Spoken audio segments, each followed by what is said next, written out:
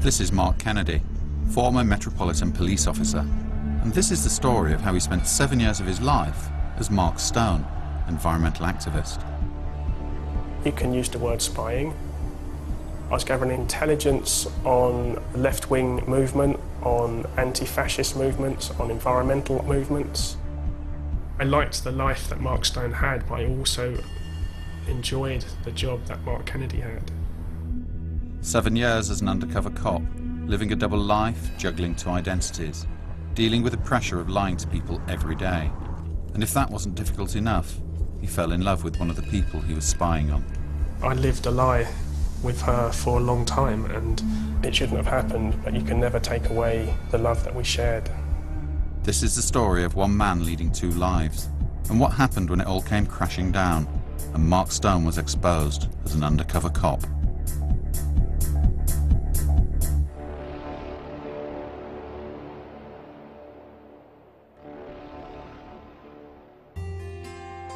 My childhood was uneventful, happy, normal.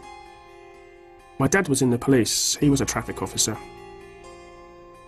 I joined the City of London Police in 1990. I transferred over to the Metropolitan Police and I worked on some interesting stuff. I worked on a, a unit which was um, investigating like race crimes and hate crimes against um, minority groups and what you can do there, you can really bridge the gap between um, how people view the police and you can really make a difference in people's lives. You actually make them understand that, yeah, the police are there to help them. In the mid 90s, there were a lot of operations that were all about preventing street level drug dealing on estates. A lot of it was undercover. I passed the course and shortly afterwards I was accepted onto a team. I was a test purchase officer, part of a whole investigative team usually based on a particular London estate. Basically, I'd go and buy drugs from a suspected dealer. Other people would be photographing it and watching my back, and at a later date, arrests would be made.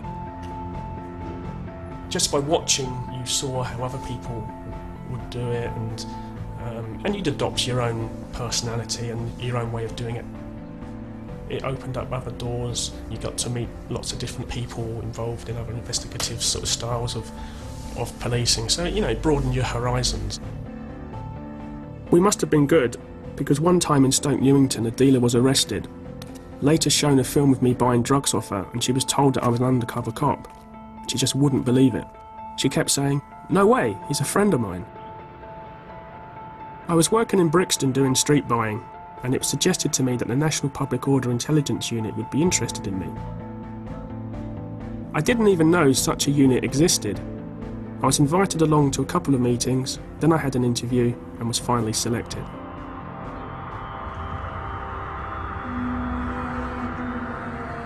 I was told my role would be to provide information so the authorities could proportionately police demonstrations. I went on a two week course, very intense, that covered legal rights, aspects of activism, the role of the undercover police officer, and so on. Then I was immersed for five days in a role playing situation. At one point, you sit down in a room and they say, So, tell us about who Mark Stone is. What did your dad do for a living? He worked in the city in the merchant bank. What football team does Mark Stone support? That's Chelsea, true blue all the way through. Have you ever been married? No, What school did you go to? Henry Thornton, Have you got any kids? not that I know of. Why choose the name Mark Stone? Mark was my first name.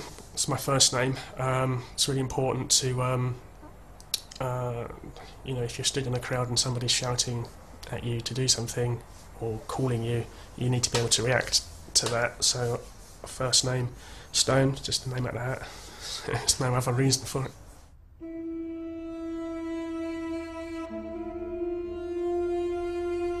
So Mark Kennedy becomes Mark Stone. He becomes another person. A South London police officer transforms himself into a committed vegan and environmental activist.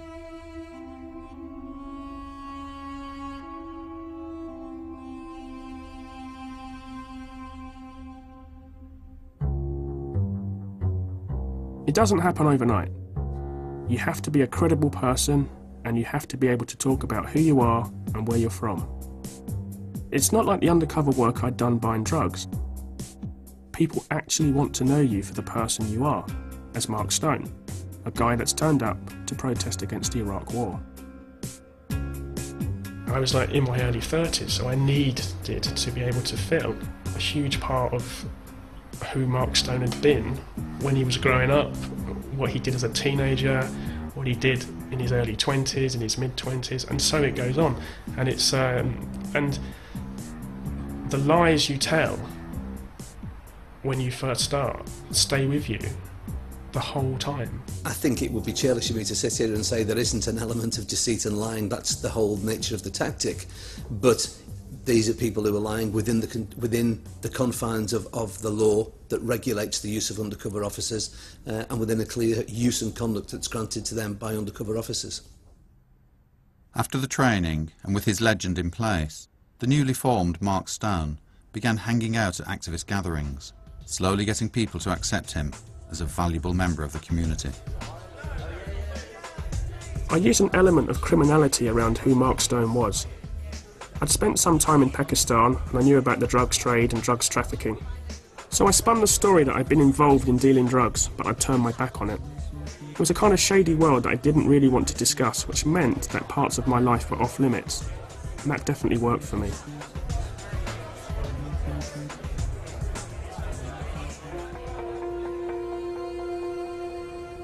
I had a dedicated cover officer 24 hours a day. I reported to him every day for seven years. He was a link between me and the operational team, but also to my family. So if I needed to get a message home, he would arrange it for me. For seven years, I, I never went. I never went to a police station once. Seven years, never went to the office. Um, the only time I actually went to a police station was if I'd been arrested or detained as Mark Stone.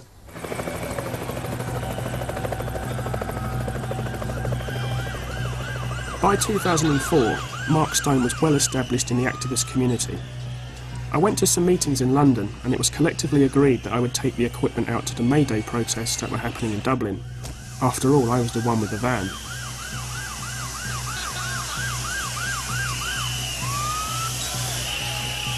In the run up, there has been a massive amount of press coverage in relation to anarchist terrorists and anarchists are going to release poison gas in the streets of Dublin, like all these massive scare stories. There's a photograph of me in one of the Sunday newspapers. The headline says something like Anarchist terrorists come to Dublin, and there's like five of us in this picture linking arms. The media coverage had given a lot of expectation of violence,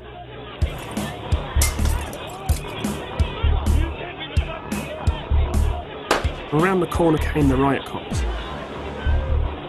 They just like waded in with batons, started dragging people behind their lines and giving them a beating.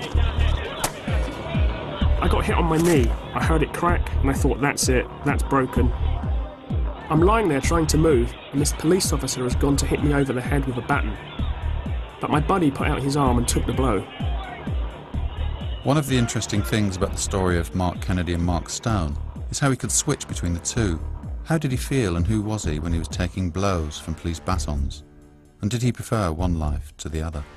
Was there a sense that you just thought that what you had in your life as Mark Stone was something that you were really attracted to and wanted to have and and you liked the life more? In a sense, yeah. Yeah, it was uh, yeah, it was interesting. I was meeting interesting people, um, doing interesting things, and you know, I, in that sense as well, I also liked the job I had. You know, I, I did a good job in as much as, you know, the taskings that were coming my way in relation to finding out about X, Y, or Z, I was achieving that as well. Um, so yeah, I, I liked the life that Mark Stone had, but I also enjoyed the job that Mark Kennedy had. Um, and that did that did later on become a huge conflict for me. Now that he was an accepted part of the community, Mark could start passing on information about the people he was infiltrating. He'd been told that his mission was to allow the police to proportionately deal with demonstrations. In other words, Mark would gather intelligence about how many people were expected at a particular action. Once the police had this intelligence, they could then send the right number of officers along. Not too many and not too few.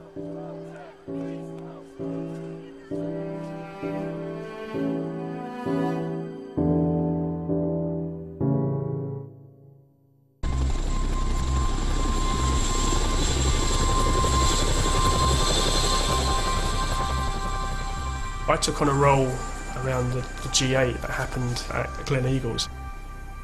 I organised all the logistics for that, um, together with other people, but uh, you know, arranging the mini buses, transporting the equipment to the camp. Mark had become a trusted and important member of the international activist community. Gleneagles was his biggest role so far. People there wanted to protest against the economic policies of leading industrial nations. Mark was instructed to gather information.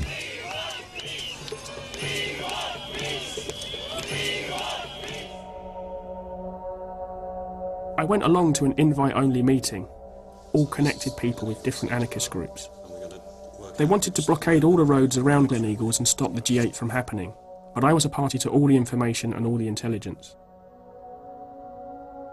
Mark removed all the maps and plans from the Central Planning Office and left them in his van for his cover officer. My cover officer made copies of the plans and the maps and then put them back before we returned to the truck. With that intelligence, they could neutralise the whole blockade effort, and they did.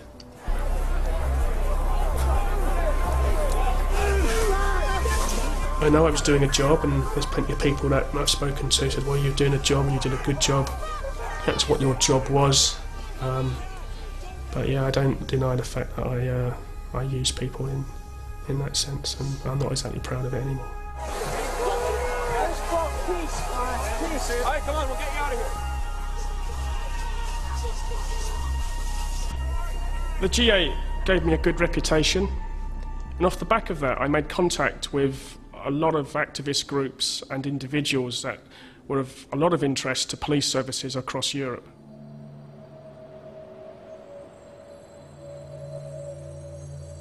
In 2005, directly after the G8 in Scotland, we went out to Iceland. There was a protest against the Karahnjukar Dam project.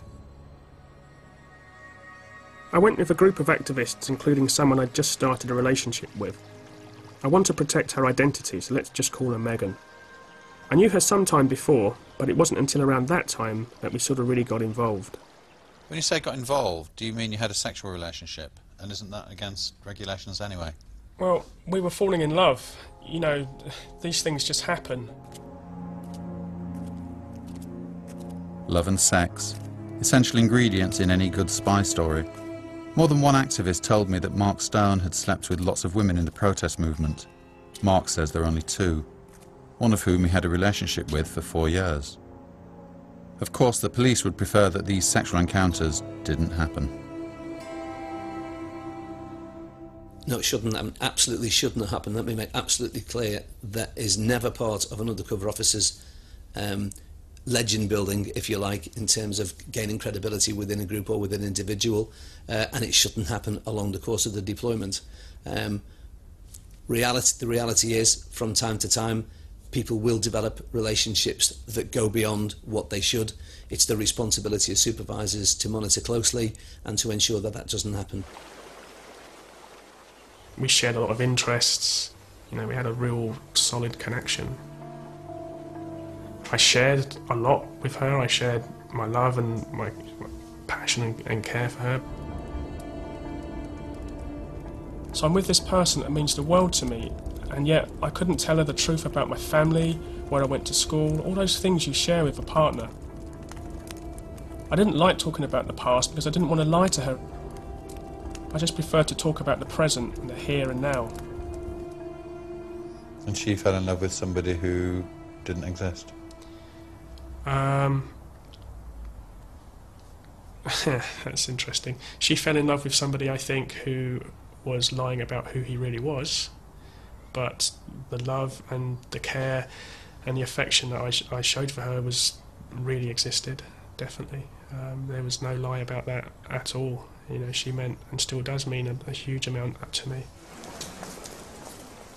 So Mark Stone was in love with a woman, but deceiving her at the same time. The big question here is whether the police knew he was intimately involved with someone.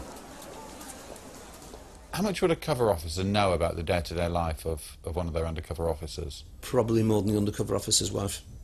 You know, it's a very close relationship, and fundamentally, that role is about the welfare of the undercover officer. So, the intelligence that's been uh, uh, elicited, the evidence that's been elicited, and the day to day life of the undercover officer is monitored by that welfare officer. So, I'm asking to speculate here. So, if, some, if an undercover officer was having a intimate relationship for four years with somebody, it is likely then that that cover off, their cover officer would have known at some point before four years was up. I would hope that anybody would be able to spot the signs. I thought my cover officer didn't know about my having a girlfriend. I didn't tell him. But now, I thought about it, it seems unrealistic. They must have known. Nothing was ever said about my relationship with Megan.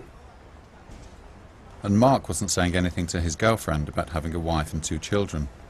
He'd been married in 1994. Whenever he could, he'd get away to see his family, but the pressure of leading two separate lives was never easy to deal with.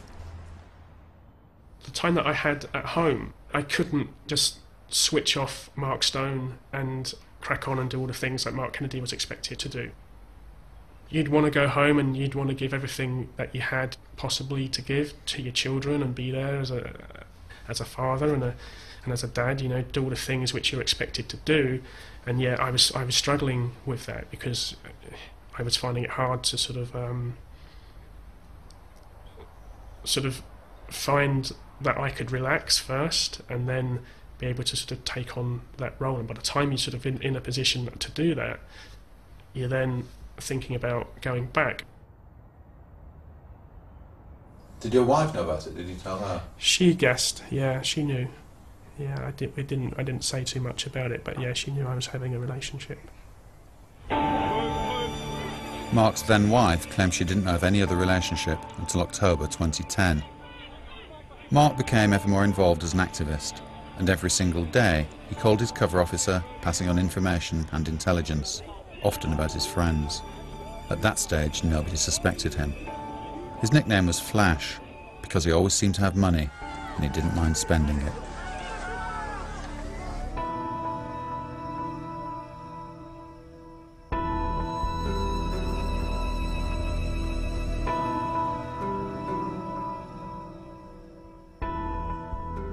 Drax is the largest coal-fired power station in Europe. Taking the site at Drax was planned months and months in advance. The intention was to break through the fence at different places. I thought to myself, right, how can I control that? How can I know where all these different groups are going to break in? So I came up with the suggestion to go and bury wire cutters around the perimeter fence. Then I could tell the different groups where the cutters were buried. So I hid them really well, but I also made an accurate map of where those places were. Obviously, that intelligence went straight back to my cover officer. So the MPIU knew exactly where all the equipment was and where people were going to be cutting through the fence. The police claim that they'd received some intelligence telling them that there was cutting equipment hidden outside the perimeter of the fence at Drax.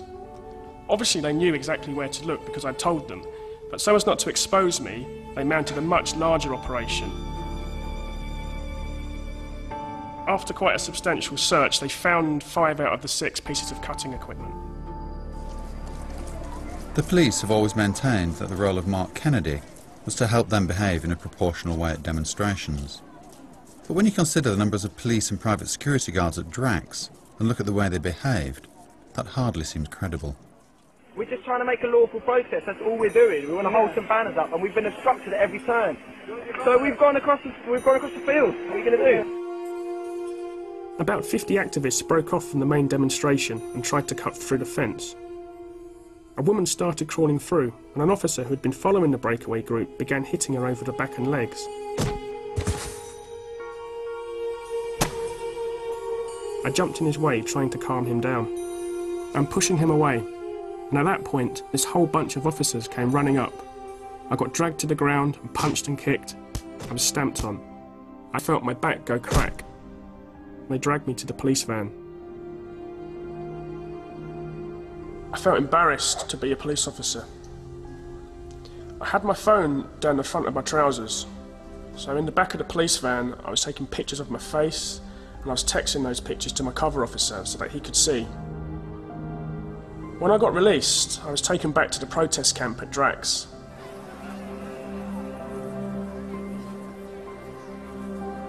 The solidarity and the support and the love that I was shown by the people that I was I was infiltrating, like you know, it brings tears to my eyes. You know, that, that is a huge part of, of, of the guilt that I feel because of the way I was looked after. When I came back from hospital, people showed me so much care, more care than I got from the police. I had broke my finger, I had a big gash across my head, and it was the stamping on my back and my hips that dislocated my spine. This must have really been screwing you up. You come out of hospital, all these people are gathering around you, Yeah. looking after you, and, and you're still Yeah. lying to them. Yeah. Uh, how do you? I, I, I, where was your release? Where was? How could you? If you couldn't tell the truth to anybody, what? How did you deal with it? I, I don't know. I don't know, Brian. It's um, I don't know. It just it just ticked on. I was told by my cover officer I was being investigated for assaulting these police officers. They'd suspended me for about three months. I went to see the kids and I spent some time with them and with my parents. It was always difficult being at home. I didn't have a much of a relationship with my wife, and we couldn't sit down and talk about work very often. Back in Ireland with his family, Mark was suspended from duty and told he might face charges of assaulting the officers at Drax. He was forbidden from communicating with his activist friends, but that was an order he couldn't obey. After all, these were the people he wanted to be with. Mark was never charged with assault, but after being left to stew for three months, he was suddenly recalled to duty. Was deployed all over Europe. He was the go-to cop for foreign governments who needed information about their own activists.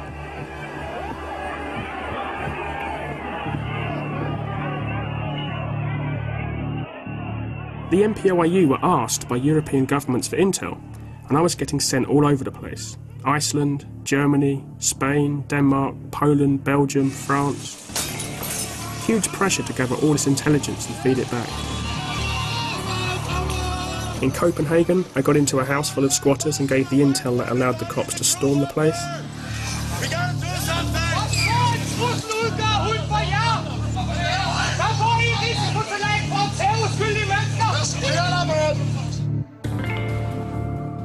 The youth house infiltrated by Mark in Copenhagen was a long established and well regarded community resource for young people. But when the city council sold the property to a church, they needed to get rid of the existing tenants. Using information supplied by Mark, the Danish police felt confident enough to evict the residents.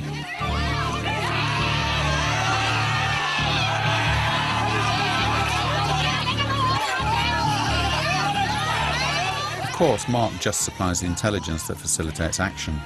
I asked him whether he ever felt guilty about his job. I think it devastates lives. You're not infiltrating people who are selling crack cocaine or selling a gun or selling child children um, for the sex trade. You're infiltrating people who, who have a social conscience. In some respects, you know, the police have, have had a result by me being exposed because everybody's looking over their shoulder and doesn't know who to talk to. The paranoia levels, I would imagine, within the activist community have, have probably gone through the roof.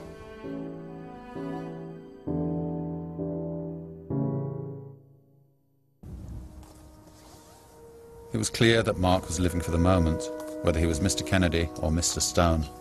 He knew that it could all unravel at any time.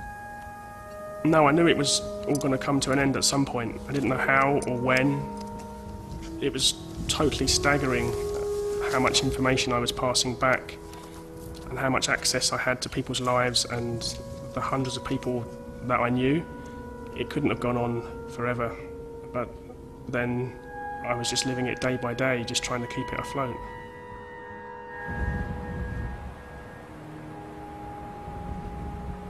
Did you ever inform directly about something that was being done or planned to be done by the woman you're in love with? No. No. That would have been hard, I imagine, I wouldn't have done it. Wouldn't you? No. Really? You'd have. I wouldn't have said anything. I wouldn't have said anything. Quite clearly, any long-term infiltration is going to bring additional problems.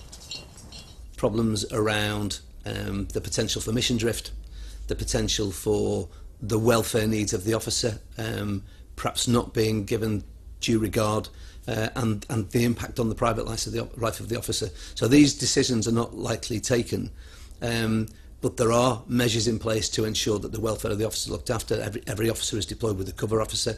They have contact with them every day, and they are subject to regular uh, psychological assessments. The events that led to the unmasking of Mark Stone, environmental activist, as Mark Kennedy, Metropolitan Police Officer, started in April 2009, when a group he was involved with plotted to break into and shut down the huge power station at Ratcliffe-on-Soar in Nottinghamshire. They were planning to break in, shut it down, and occupy a smokestack for as long as they could. Around 120 of the Ratcliffe-on-Soar protesters gathered at a Nottingham school to go through the details of the action. They planned to leave the school in the early hours of the morning and occupy the power station. Mark Kennedy passed on those plans to his police colleagues.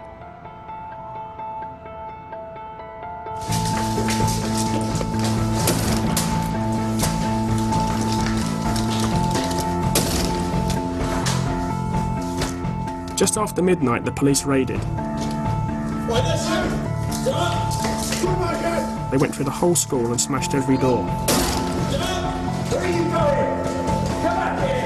We were all put in a big room. I was sat next to a guy that I knew really well. He says, I'd like to get my hands on the person that grassed us up. And I was sat there thinking, yeah, Did you go to bed racked with guilt, thinking, "I've just today I've betrayed such and such"? I'm not sure if it, I'm, I'll, I'll try and explain it because yes, I did in some ways, but as I've said, like my my role wasn't necessarily to report upon individual people. I was involved in the case regarding Ratcliffe on Soar, and that became far more personal because that was about people that I I knew really really well. Just come through here. None of the dozens of officers who raided the school knew that Mark Stone was one of them, a fellow cop. You've been mass arrested, mate. Just face here. You've been mass arrested. You've been individually arrested by this officer. Okay?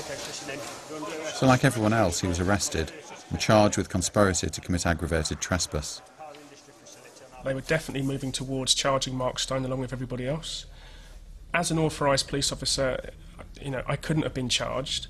Um, if they had continued down the line of charging Mark Stone, then the whole operation would have finished. It would have dropped out.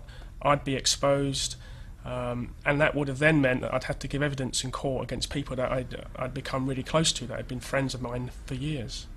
Were you really, that, that your greatest concern was presumably the fact that the woman who you're in love with and who loved Mark Stone would suddenly realise that she'd been conned? That's true, yeah. Yeah, very much.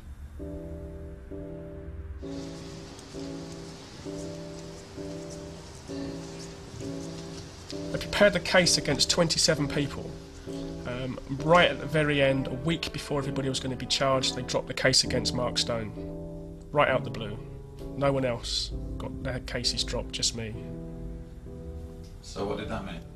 Well, spot the informant. You know, it was like so obvious. Um, again, Mark Stone slips through the net, no charges.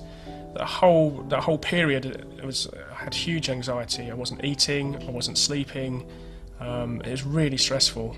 Um, nobody in the MPRU would get a hold of it. Nobody in the MPRU appeared to be wanting to give me any support. I felt right out on my own, right out on a limb. As suspicion of Mark grew in the activist community, he was left wondering what he could do to regain the trust of people. But without warning, he received a phone call from his cover officer, telling him that his seven-year mission was over and he had two weeks to get out. The operation came to an abrupt end. Um, the whole extraction policy uh, around Mark Stone vanishing was appalling, um, as it was for other officers as well. You know, there, there was very little thought was put into extracting an officer away from a situation, a lifestyle that they had adopted for such a long time. Do you think the fact that they exposed you was just bungling incompetence, or was there something more sinister about that? Did they want you to be exposed? I don't know. I don't. I don't. It's crossed my mind. Other people have talked to me about that. Other people have intimated um, that. Um, I don't want to think about it like that. I started to put the story in about moving to America for a couple of months, I was feeling burnt out. Megan was really worried, but I thought, okay, maybe this is for the best. Maybe this is the right thing to do for her and for me.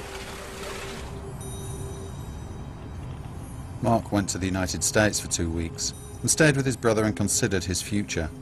His undercover mission was over, but he was still a serving police officer, and he was still in love.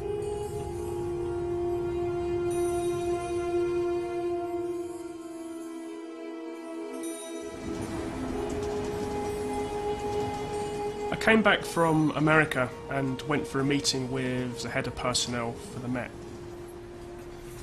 The meeting lasted just 20 minutes. She had an empty file, no details about me at all, very little understanding about my mental state. I was basically told, you have no skills and we don't have a suitable job for you. So I'd gone from being the leading expert on extreme left activism, I'd worked all over Europe for seven years, an officer with 20 years' experience, someone who had fed intelligence back that was being used to make huge operational decisions, to being told, Who are you? That just compounded the feeling of nothingness. Just actually a huge sense of everything vanished overnight. Not only Mark Stone, but also who Mark Kennedy was as well because he didn't really exist either. And in the end, I just thought, you know what? Fuck it. I just can't do this anymore. So I resigned.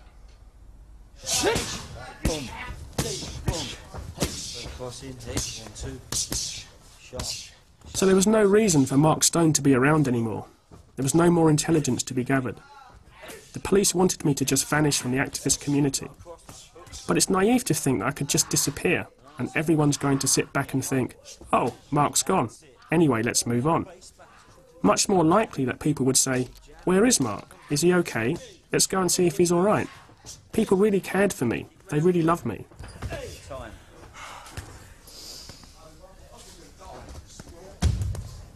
And after you resigned from the police, mm. you went back into that community, didn't you? I did, yeah. Why did you do that? Um, because I missed them, and I felt bad um, about the way that I left my girlfriend. You know, people have said to me, "Oh, they're not your real friends. They weren't your real friends." Well, you know, they were Mark Stone's real friends, and the emotions and the feelings that Mark Stone had are very similar to the ones that Mark Kennedy has. Whether that's right or wrong, I don't know. You can't lead a double life without the paperwork to back it up. Mark Stone was fully loaded with all of it. He had solid credentials. All that fell apart one day when his girlfriend, looking for her sunglasses, found a passport in the name of Mark Kennedy. It had the picture of the man she knew as Mark Stone. I had a story, I had a cover story for it, why I had a different name. It involved Mark Stone's previous life, um, and it was plausible. But I think, together with everything else that had gone on, um, all of those things mount up. Never being charged or not having the solicitor, you know, how come he got off and 26 other people got charged? There's a, a number of things just rang alarm bells. Megan told other people about the passport. They put two and two together and came up with cop. Mark was telephoned and they asked him to come and explain himself. I could have said no, but I felt I owed them an explanation. All manner of things were going through my head as to uh, as to what might now happen, and I, I, I felt as much as I needed to go and maybe give some explanation as to who I was and what I'd done. I also felt that I needed to go and to find out what they knew I sat on a sofa and people were on chairs in a circle around me. It was definitely an interrogation. They didn't threaten me. It was it was dignified. They, you know, they just felt completely let down, and they had to do what they had to do. Um, and about half past five in the morning, I uh, I got up and I, I walked out of there. You know, I think we were all so utterly tired and exhausted. Um, it just had to be that way, and and I uh, I, I turned turned my back on at the door, and that was it. I haven't seen him again.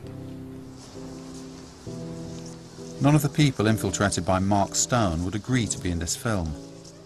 Despite repeated requests, not a single activist would tell us about their dealings with the undercover cop.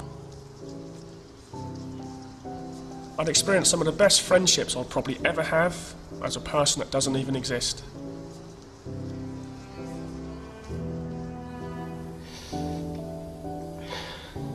I do miss her so much. It's, uh, hard to work that through after sharing, sharing so much. And, um,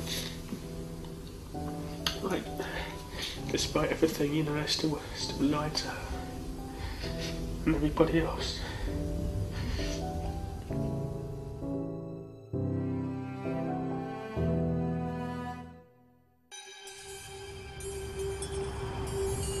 Questions were raised about the role of PC Mark Kennedy.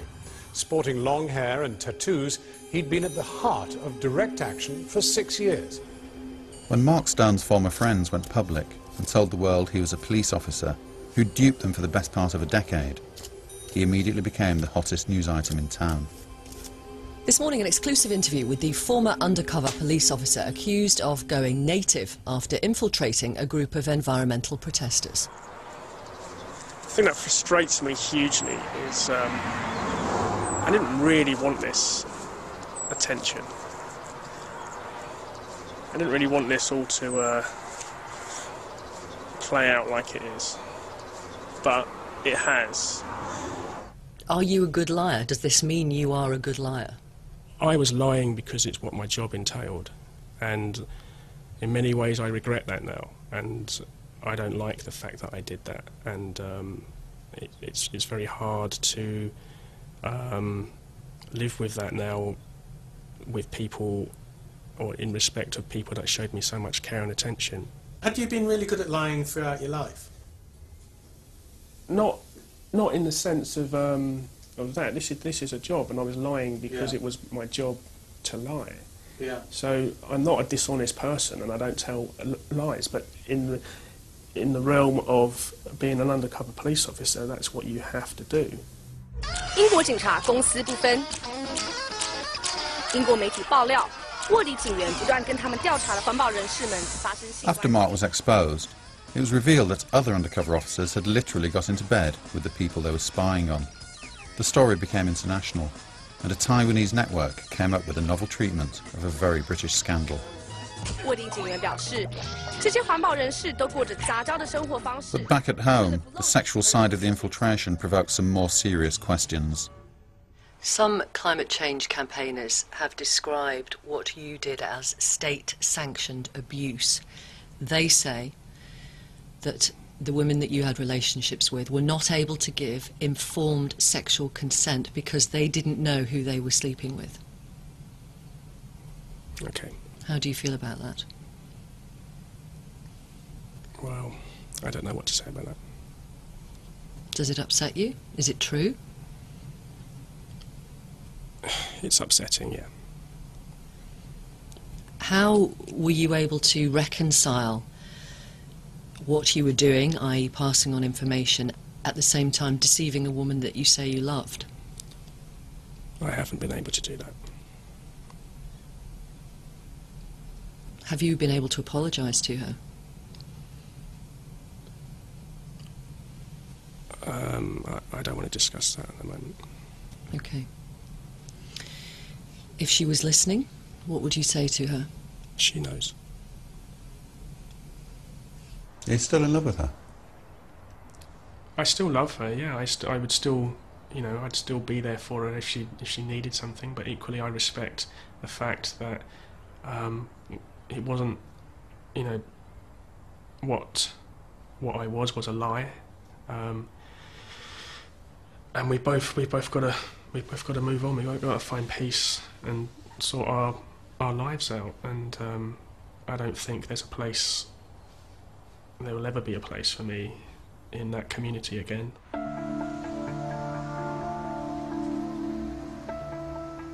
Whatever moral issues Mark has to face, there is still a question of whether his bosses knew that he and other officers were sleeping with people. And if they did know about it, why did they ignore it? I spoke to another ex-undercover officer who has to remain anonymous for reasons of safety. There's no doubt that sleeping with a target, being involved in a sexual relation with a target, is wrong on just about every moral and ethical level you can be in that role. But there's a couple of failings there. He's been in that role for seven years. Did they expect him to live like a monk? Secondly, there's no way he's had a relationship for four years and his cover officer did not know about it. And the cover officer should have told the operational team. The operational team should have told the deputy SIO and so on and so forth up the chain. For four years, there's no way that's going to go unchecked and unnoticed. It's impossible.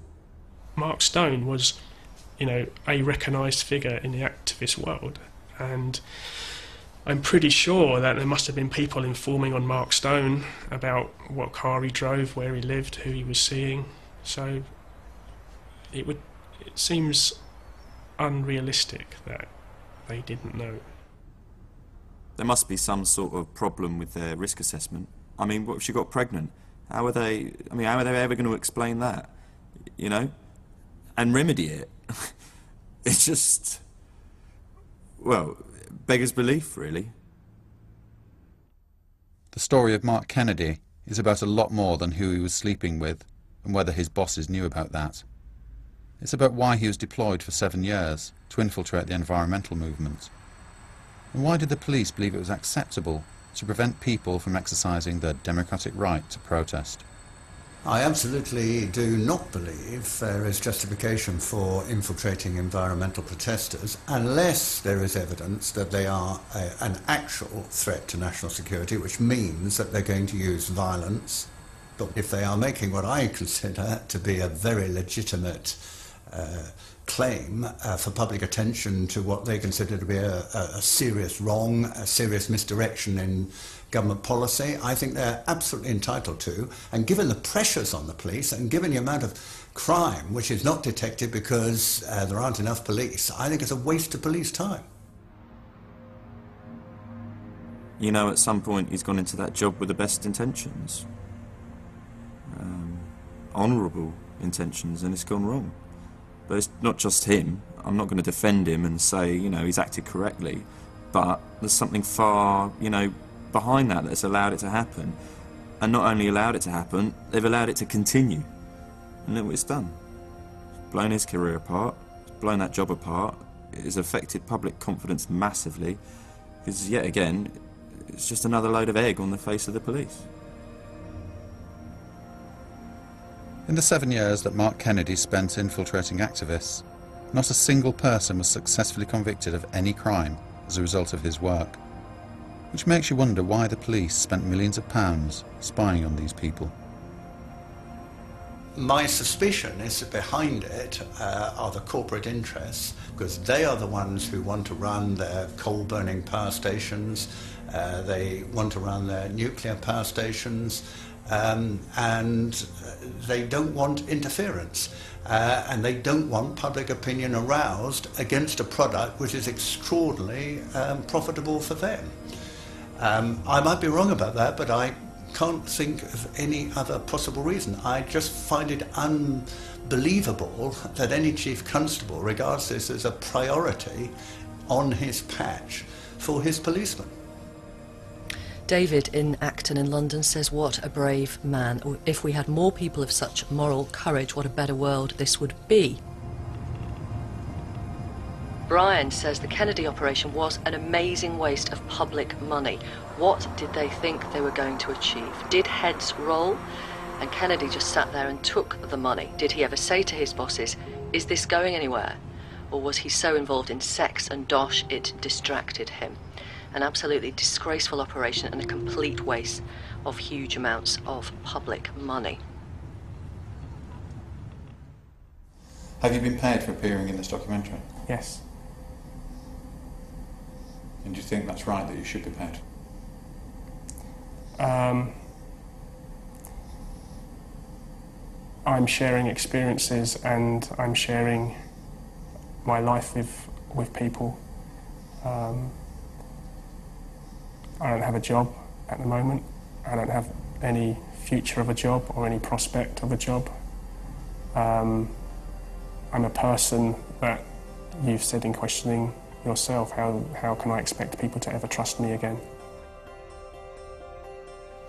You've lost the woman you loved. Mhm. You've parted from your wife and you Mhm. have children. You've left your career. Mhm. So if you add all those things up, it would seem to be not. It's a pretty big negative, isn't it?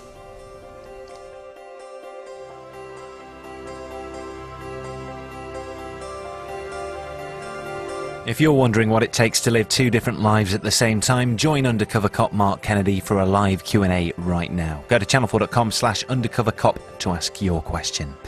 Next Monday, the engineer who cracked the Enigma, Britain's greatest code breaker, at 9. Tonight, it's Rude Tube next.